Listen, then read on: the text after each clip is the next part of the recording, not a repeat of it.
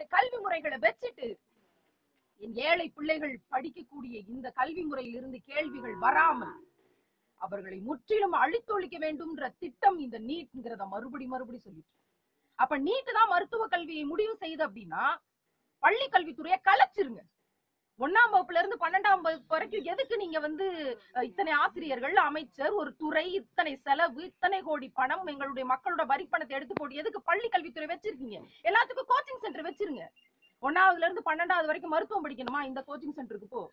நீங்க இன்ஜினியரிங் படிக்கணுமா? இந்த கோச்சிங் சென்டருக்கு போங்க. ஆர்ட்ஸ் படிக்கணுமா? அந்த கோச்சிங் சென்டருக்கு போங்கன்னு பள்ளி கல்வித்துறையை முழுவதுமாக கலைத்து விட்டு ஒட்டுமொத்தமாக கோச்சிங் சென்டராக தமிழ்நாட்டை பிரிச்சிருங்க. ஆண்டு சேர எல்லாம் பெரும்பாலும் வெளிமாநிலத்தை சேர்ந்த உத்தரப்பிரதேசத்திலிருந்து வந்து நம்ம ஊர்ல படிக்க போறாங்க. ஆனா என் ஊர்ல இருக்க என் பிள்ளைக்கு என் பிரதீபாவுக்கு இங்க இடம் இல்ல அப்படின்னா இந்த நீட் என்பது தகுதி என்ற பெயரில் அடித்தட்டு மக்கள் கிராமப்புற பிள்ளைகள் நீங்கள் எத்தனை திறமைசாலிகளாக இருந்தாலும் நீங்கள் முன்னுக்கு வந்துவிட முடியாது என்பதை ஏதோ பல பல பல சூழ்ச்சிகளின் பின்னணியில் சொல்லிட்டு இருக்குங்கிறதா இன்னைக்கு பார்க்க வேண்டியிருக்கு. இங்க வந்து பார்த்தா இந்த பெற்றோர்கள் அவர்களுடைய பாட்டி இந்த சொந்த பந்தங்கள் இவர்களுக்கெல்லாம் இந்த இழப்புக்கு நாம் என்ன பதில் சொல்ல போகிறோம்?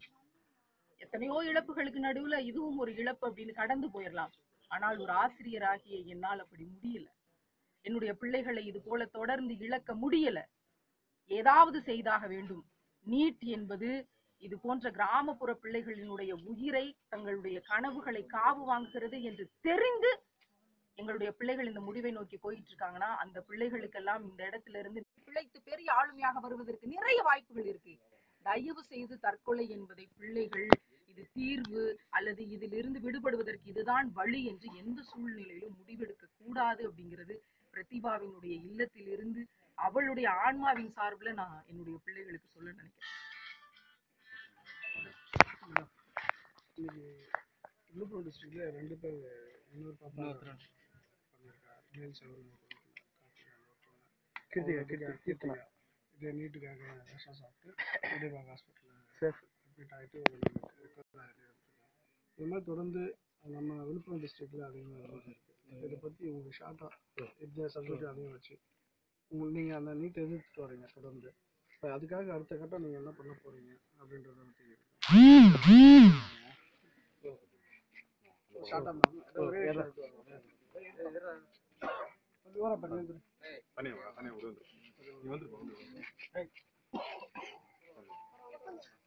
ஓகே மேடம் கடந்த ஆண்டு அனிதா அன்பு மகள் நீட் என்ற ஒரு அரக்கனால் கொல்லப்பட்டு அதன் பிறகு தொடர்ந்து அவளுடைய மரணத்துக்கு நியாயம் கேட்டு நீட் குறித்த விழிப்புணர்வை நாங்கள் சமூகத்துல தானும் ஒரு ஆளா வசுந்தர முடியாதான்ற ஏக்கத்துல இருக்க பிள்ளைகள் இந்த பிள்ளைகள் தங்களுடைய பெருங்கனவை ஒரு தவமாக முன்னெடுத்து வளர்ந்து வரும்போது குறைந்தது ஒரு ஐந்து ஆண்டு காலமாவது எப்படியாவது மருத்துவராகிரணுங்கிற கனவை கையில எடுத்து நீங்க நினைச்சு பார்க்க முடியாது. எந்த பின்புலமும் இல்லாம எந்த துணையும் இல்லாமல் ஒரு குழந்தையால் பிரதிபானால எப்படி நானூத்தி மதிப்பெண்கள் எடுக்க முடிந்தது? அது ஆயிரம் மாநில முதன்மைகளுக்கு சமம்.